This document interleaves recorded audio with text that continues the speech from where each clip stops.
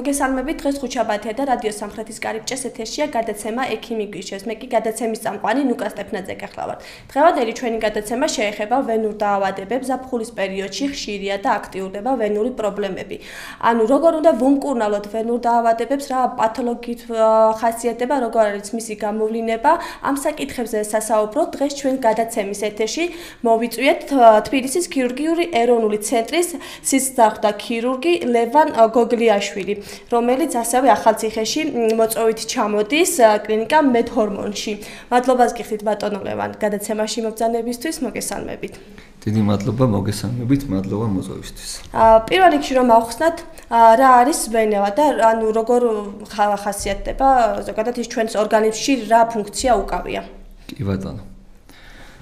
აა ვენებს აქვს შემდეგი ფუნქცია. როდესაც გული აკეთებს შეკმუშვას და სისხლი გადადის არტერიებიდან ქვემო კიდურებისკენ, ზემო კიდურებისკენ და ორგანოებისკენ, ეს სისხლი გულში უნდა დაბრუნდეს რამენაირად. და ზუსტად ეს ვენები არის ეს საშუალება, რომ ვენებით ბრუნდება გულისკენ სისხლი. და ასევე ქვემო კიდურებში არის ერთ-ერთი ფუნქცია კიდე ის აქვს, ეს დეპოზ დეპოზ ფუნქციას ასრულებს. ანუ მოცირკულირეთ სისხლის დაახლოებით 30-40% შეიძლება მეტიც ვენებში არის დეპონირებული და როცა ორგანიზმი დაჭirdება მაშინ ხდება შეჭმუხნა ვენების და ეს დეპონირებული სისხლი დაადის ორგანიზმში. მაგრამ როცა სისხლდენა, როცა პაციენტს აი ადამიანს გული რო წავიდა, რატო აწვევთ ფეხებს, ხო? იმიტომ რომ ფეხებში დარჩენილია სისხლი და რო ავწევთ მოცირკულირე სისხლი შეივსება ამ დეპონირებული სისხლით. ძირთათ ეს ფუნქცია აქვს ვენებს. რა არის ქრონიკული ვენური დაავადებები?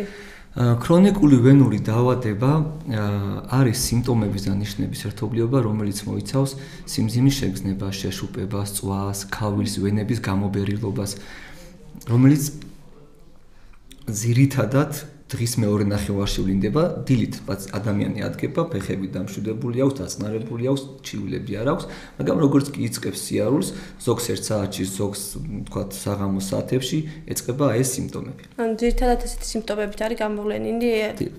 აი რატომ არის ამბობენ ხშირად რომ ზაფხულის პერიოდში უფრო ხშირი არის ასე თქვა ვენური დაავადებების მატება? რა განაპირობებს ამას ამ პერიოდში? რამდენად რეალურია ზოგადად თუნდაც ეს კითხვა? კი კითხვა სრულიად რეალურია და ეს დაკავშირებული ну თუ ავიღებთ გავრცელებას ქრონიკული ვენური დაავადება გავრცელებული არის ძირითადად ისეთ ქვეყნებში სადაც უფრო ზიანათებს სადაც უფრო ცხელა. იმიტომ რომ სიცხის დროს ვენები უფრო ფართოვდება უფრო ჩერდება სისხლი ქვემოკიდურებში დოერბრუნდება შენობისად იწევს სიმპტომებს. აქვე მინდა შევეხო უბრალოდ მოდი დაავადების მექანიზმს უცბად განვიხილავთ და დანარჩენ კითხვაზე მე გადავიდეთ ხო ქრონიკული ვენური დაავადება მნიშვნელოვანი რატო არის ეს დაავადება ზოგადად? და საიდან მოდის და რამდენი ხანი კაცობრიობა ამას ებრძვის ხო? პირველი ნიშნები ამ დაავადების გვხვდება საბერძნეთში მაგრამ ტაძრებზე გამოხატული არის ფეხი, სადაც ვენა არის დაკლაკნილი და ანუ ვარიკოზული დაავადება გამოხატული არის აი ტაძრებზე და კედლებზე, რომ ესეთი მნიშვნელობა ქონა ამ დაავადებას თავიდანვე. და თავიდან როგორ ვებდო ჰიპოკრატე როგორ ებძოდა ამ დაავადებას, ნობილია რომ რეკომენდირებული იყო რომ დაეხვიათ რამე მაგარი ფეხზე რომ და პირველად დააკვირდა ის რომ ქრონიკული ვენების გამობერულობა და ტროფიკული წყული თუმე კავშირში არის. ეს საიდან მოდის და ზოგადად დაავადება ადამიანებს შეგვიძლია ვთქვათ აქვს იმის მე რაც ფეხზე დავდექით ანუ შემჩნეულია რომ ცხოველებს მაგათაც ძაღლს ცხენს. ვარიკოზული დაავადება არ აქვს რა იმიტომ რომ ნუ არ დგანა ნორ ფეხზე. და ჩვენ თუ დარვინის თეორიას მივყვებით და თუ ვიძახით რომ ადამიანი მაიმუნთან წამოვიდა და ოთხ ფეხზე ვიყავით და მე გავსწორდით ხო? რომ გავსწორდით მოუწია სისხლს რომ გულამდე დიდი გზა გაიაროს. ორგანიზმმა ამისთვის შექმნა სპეციალური სარქველები, რომ სისხლი დააკავოს რაღაც ადგილებზე, რომ არ არ გაჩერდეს მაგათაც ფეხში, არ დაბრუნდეს ფეხში და სარქველები იჭერს სისხლს. და როდესაც ჩვენ ფეხზე დიდხანს გავართ, როდესაც ჩვენ დიდხანს ზივართ ფეხზე, როდესაც კუნთები მოდუნებულია, ამ გულის ფუნქცია რომ უკან შემოიწოვოს სისხლი, არ არის საკმარისი ამისთვის. და სარკმლები გვეხმარება ამაში. ერთხელ დავჯექით ორჯერ, მილიონჯერ, მთელი ცხოვრება ესე ვზივართ, აწובה სისხლის სარკმლებს, სარკმლები ზიანდება, აპარებს სისხლს აღარ აღარ კეტავს, ვენა ფართოვდება. რაც გაფართოვდა ვენა, სარქლები ერთმანეთს უფრო ვეღარ შეეხო, უფრო მეცისხლი გაატარა. და აი ეს მან კი ერიწრი არის ჩართული ქრონიკული ვენური დაავადების მექანიზმის ძირითადად ეს შეიძლება რომ თქვა. ან ეხ თქვენ ბევრი რამ აღნიშნეთ და აი მაინ ზოგადად ან რა დროს უნდა მიმართოს პაციენტმა ექიმს რა სიმპტომების გამოვლენის დროს რომ დაგვიანებული არ იყოს მკურნალობა. დიახ, ძალიან კარგი კითხვა. რაც შეეხება დროს, როდესაც ადამიანის შეავსებს რომ ფეხები უსივდება რომ დაეწყო ვენების გამობევლობა ჯერ ერთი კაპირალი, მერე მეორე, მერე მესამე უშვება, როცა სიმძიმის შეგრძნება, ტკივილი აქვს, თითქოს დღის ბოლოს და ფეხების აწევა სიამოვნებს და ფეხების აწევა შვებას გულის, ხო? ეს უკვე მუთიცებს მასავს ქრონიკული ვენური დაავადების რაღაც ფორმა და აუცილებელია ექიმთან მისვლა, რომ დადგინდეს რა სტადია და როგორი ტიპის კურნალობა ჩაერთოს. დიახ. აი, მაგრამ აქვე გკითხავთ, რა ტიპის, ანუ შესაძლებელია თუ არა დაავადების პროგრესირებამდე, ასე ვთქვათ, რა ტიპის კურნალობას უნდა მივმართოთ, რა ტიპის კურნალობები არსებობს? მაგრამ აქვე შევეხებით ქრონიკული ვენური დაავადების კლასიფიკაციას და რა ფორმები არსებობს და კაკას მაგ პასუხება, ზუსტად მაგ პასუხებამდე მივართ. გვაქვს სულ 6 6 სტადია, ანუ ნულოვანი სტადია და 6. ნულოვანი სტადია გულისხმობს, რომ პაციენტის ფეხებზე არაფერი არ ეთყობა, მაგრამ აქვს სიმპტომები, სიმძიმის შეგრძნება, შეშუპება, წვა, ქავილი, კაპილარებიც კი არ აქვს. მე მოდის პირველი სტადია, როდესაც კაპილარები უშტება და პატარა ვენები, ეგრეთებული ტელიანგიოექტაზიები და კაპილარული ვენები, მე უკვე მოდის მეორე სტადია, დიდი ზომის ვენები ვარიკოზსაც ეძახის მოსახლეობა ხო ვარიკოზული დაავადება ან რომელიც რო შესამჩნევი არის და რომელიც უკვე ფეხსო შეხედო გამობერილი ვენები ლურჯად რო ეთყობა ნებისმიერ კიდურზე ფეხზე გულისხმობ რო ნებისმიერ ადგილზე წვივისზე ბარძაყზე და ასე შემდეგ ხო? მეგო მესამე შეშუპება მეოთხე აი კანის ფერის შეცვლა აი გამუქებული კანი როცა არის ხოლმე მეხუთე არის შეხორცებული წყლული და მეექვსე უკვე ღია წყლული თუ პაციენტი მომართავს 0 სტადიაზე, ანუ ექიმს ხო, რა თქმა უნდა 0-დან 6-მდე სანამ წყული გაუშვება, იქამდე პრაქტიკულად შეიძლება აღარც მივიდეს სწორი მკურნალობით და სწორი ტაქტიკით. რაც შეეხება დაავადების შეჩერება, არ შეჩერების საკითხს, ეს ქრონიკული დაავადება ისეთი ვერაგი დაავადება და ჩვენი ცხოვრების წესით თან დღევანდელ პირობებში და ჩვენი ანატომიაც ისეთია, რომ რო ვთქვათ, რომ განკურნოთ ადამიანი ამ დაავადებისგან, ცოტა რთულია და შეუძლებელიც კი შეიძლება თქვა, იმიტომ რომ ეს დაავადება ყოველთვის რჩება და პროგრესირებს. უბრალოდ ჩვენ მედიკამენტების, სწორი შერჩეული კურნალობით, ელასტიური კომპრესიით ხანდახან ოპერაციის ჩარევითაც ჩვენ ამ დაავადების გავრცელებას გამვითარებას შევანელებთ. ისე რომ პაციენტის თან ცხოვრების ხარისხი გაუმჯობესდება. აი, რა დროს ხდება ზუსტად ამ ოპერაციის საჭიროება, რა დროს ხდება ქირურგიული ჩარევა და ზოგადად რამდენად რთული არის ოპერაციის ჩატარება? კი ბატონო. რამე რისკებთან თუ არის დაკავშირებული? კი ბატონო. აა ოპერაციის ჩარევა არ ჩარევის საკითხი წდება შემდეგნაირად. პირველ რიგში ისნო კითხვა თუ რა მიზანი აქვს ოპერაციას? და რატო არის საშიში ოპერაციის გარეშე ესეთი მომზადება ან ოპერაცია რატოა საშიში ამათვე პაციენტისთვის ვარიკოზული დაავადება ქრონიკული ვენური დაავადება ეგრეთ წოდებული ვარიკოზული დაავადება როგორც აი გავსწრებული ჩვენ მოსახლეობაში ორი ძირითადი პრობლემა შემიძლია დავყო ამ დაავადების გამო რასაც გამოწვევა შეუძლია ამ დაავადებას ხო?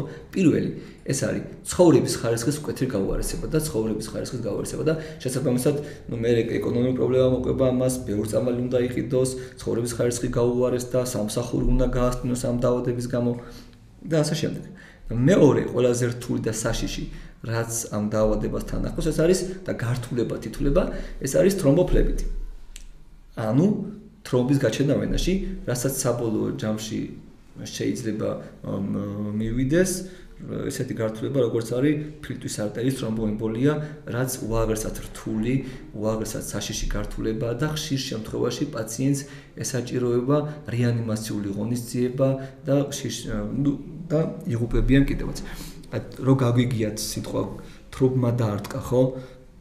რა თქმა უნდა პირველ რიგში მოდის აი ინფარქტით რომ დაარტყატუნიშ და მეორე მოდის ქრონიკული ვენური დაავადების დროს გართულება თრომბოფლებიტი თრომბოემბოლია, რომელსაც ხდება მე ფილტვის არტერიის დახშობა და შესაბამისად პაციენტი ვერ სუნთქავს, ჭირდება რეანიმაცია, აპარატზე გადაყვანა და ნუ როგორ გამომერეხმე. აი, ზოგადად ვინ არიან თუ არის ესე ცალკე აღებული რისკ ჯგუფები, ვინ შეიძლება განვიხილოთ რისკ ჯგუფება და გენეტიკურად რამდენად შეიძლება რომ იყოს ასე თქვათ ვენური დაავადებები.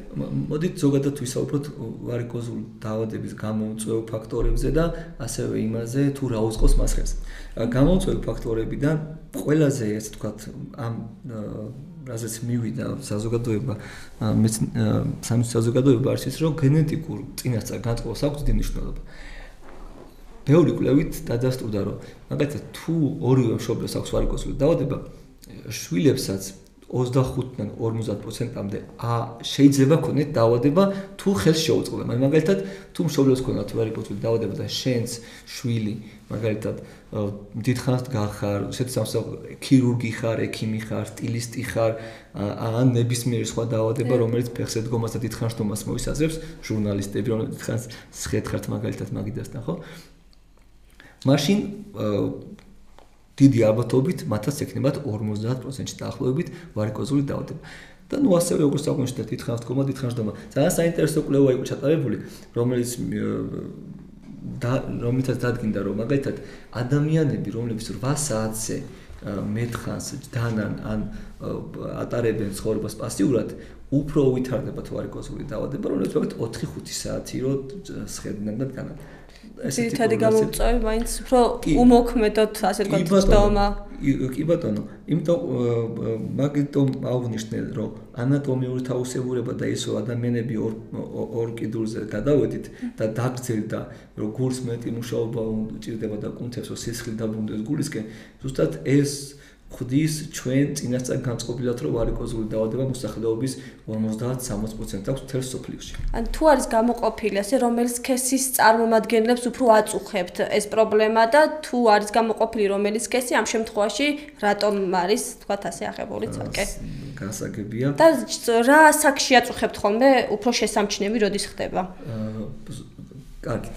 სქესად შეეხება რა თქმა უნდა ქალები არიან. იმიტომ რომ იმასთან ერთად რომ ქალები რატომ არიან? პირველი ეს არის ორსულობა.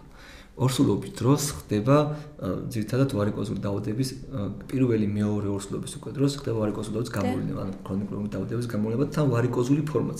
შეიძლება იქამდე ქონდა სიმძიმის შეგრძნება შეშუპება წვა მაგრამ როგორც კი უკვე ორსულად ხდებიან და პირველი და მეორე ორსულობის მერე უკვე ვენები ებერება სიმპტომები ძლიერდება და ხშირად მოგმართავენ ხოლმე ორსულები გამობერული ვენებით და მე ნუ ჩვენ შესაც კუნალობ.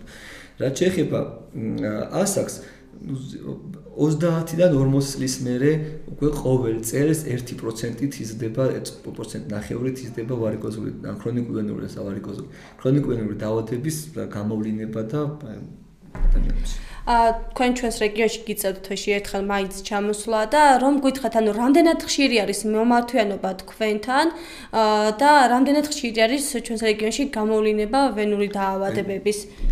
ძალიან კარგი კითხვაა ჩვენ მასეც საუბრობთ